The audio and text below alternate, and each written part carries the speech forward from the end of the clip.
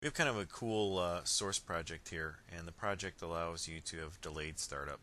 So I don't know about you, but I have a lot of things in my startup group, and so my applications and the system actually takes quite a while to get going.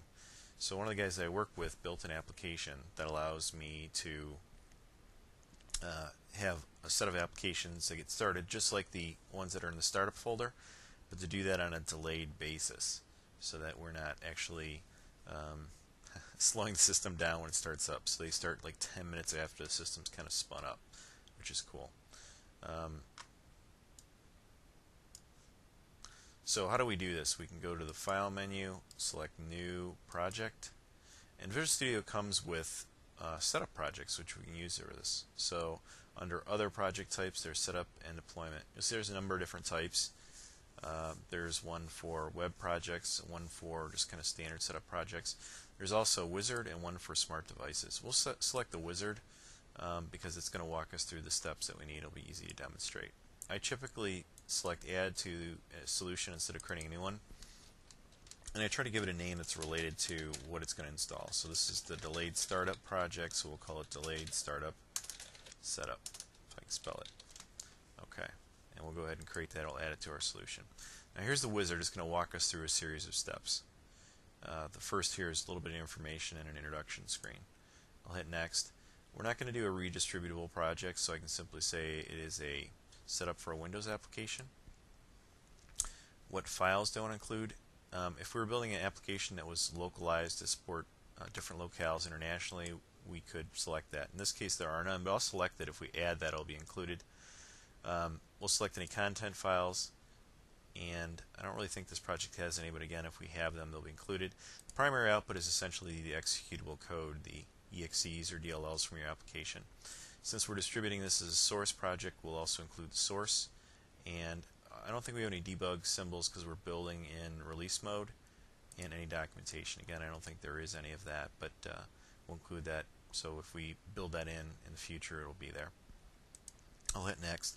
Next it asks me if there are any additional files that I want to add, and in fact there is. There is a app config file that we have configuration information stored in that I'll add. So I get a final list kind of of all the options I've selected and, and how they're going to install and where it's going to be, uh, this new project is going to be created. I'm happy with them, so I'll say finish. And then what I'm going to want to do here is, although you think you'd hit right click and hit properties, you actually click on your setup project, you notice uh, my solution now is two projects, the original source project and then this uh, setup project. If I hit F4, you'll see that I get the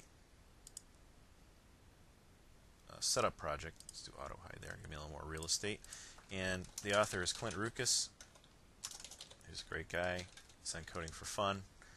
Um, and we can do keywords and other stuff, but just to make it as short as possible, we'll say that it is uh, Clint Rutkas again and Tukas.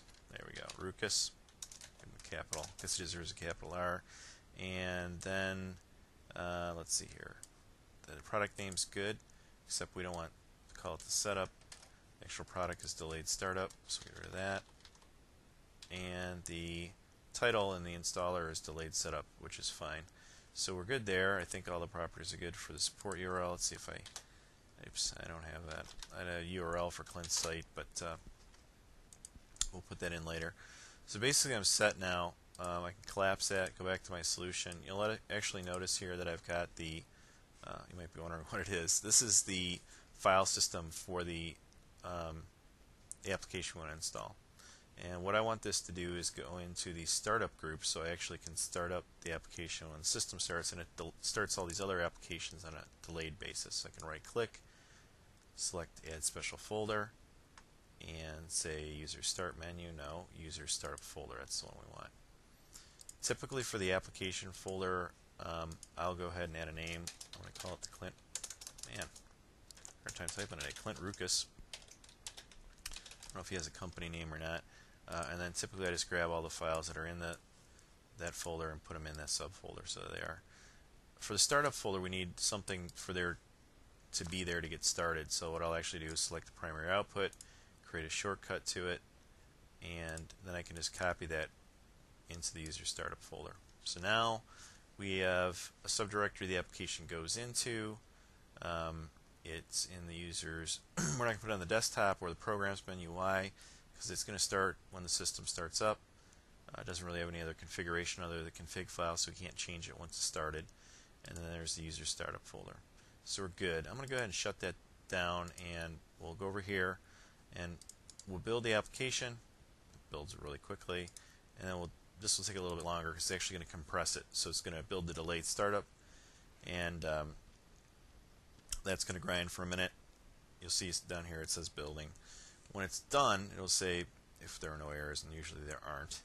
Um, build successful. And then we can simply right click on it, uh, and you notice here's an option for install. And literally, it's going to walk us through the install. So you notice that it's, let me bring this into view here. It's uh, got a few things here for us that we put in the properties delayed startup setup wizard. Looks like I've got an ex extra space there. Um, and it gives us the location there. You remember I put his name in there as the author. Uses that for the program files area and delayed startup. For just me or everyone, we'll say just for me. And say next. Uh, I probably will get challenged here by the installer since I'm on Vista for user rights. I may have to override that and let it install. But the startup project's running. And in another few moments, the startup project will be complete and the application will be installed. So that's pretty cool. Um, one other interesting or useful piece is, I, in case you didn't see that, I said allow to let it install. Um, one other useful piece is that if we went to the control panel, this is now a program that can be deinstalled, which is great. The install is complete. And from Visual Studio, I can right click and uninstall this if I wanted to. So we have taken an application which had no install, created a simple startup project, set some properties, and installed it. Now in this particular system, next time I shut down or restart, that application is going to be started. Thank you.